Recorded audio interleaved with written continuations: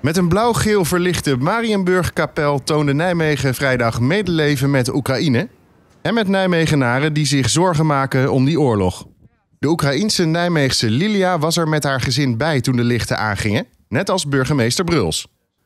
Hij had de aanval van Rusland wel verwacht. Ja, eh, toch wel schrik, maar niet verrast dat het gebeurde. Ik bedoel, ik, voor mezelf had ik al uh, weken zoiets van... Uh, Poetin bouwt het wel op en uh, je kunt er bijna op, op wachten op een of ander incident. En zeker sinds het begin van de week met die malle erkenning van die twee deelrepublieken en die opbouw. Maar ja, als het gebeurt is het toch wel, wel heftig. Hè? We zijn dat toch echt niet meer zo uh, gewoon sinds het einde van de Tweede Wereldoorlog.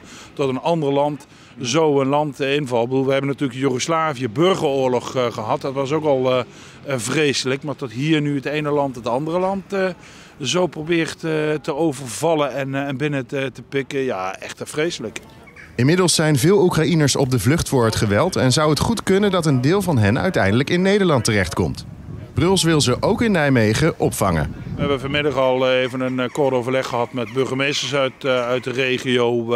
en iedereen snapt dat je zo'n vraag niet aan de kant kunt, kunt leggen. Maar we moeten nou ook eerst zien wat er gaat gebeuren. Niemand weet precies natuurlijk of en hoeveel en op welk moment mensen komen. Is dat van korte duur en wat moet je dan doen? Maar ehm, wij hebben al eerder laten zien, zeker hier in Nijmegen, dat als het echt de nodende man komt, wij heel snel allerlei opvang kunnen gaan, gaan regelen. En ik ga ervan uit dat dat eigenlijk voor alle gemeenten, in, niet alleen in onze regio, maar ook in het hele land geldt.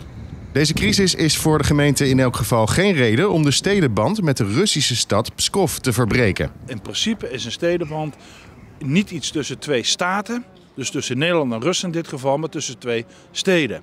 En die moet juist uh, om culturele reden, juist om ook handen te blijven uitzeker blijven bestaan.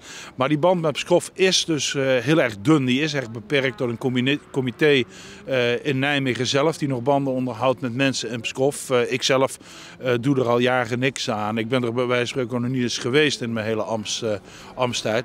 De verlichte kapel was een eenmalige actie, maar zaterdag was er op dezelfde plaats een demonstratie met ongeveer 80 mensen die aandacht vroegen voor de crisis.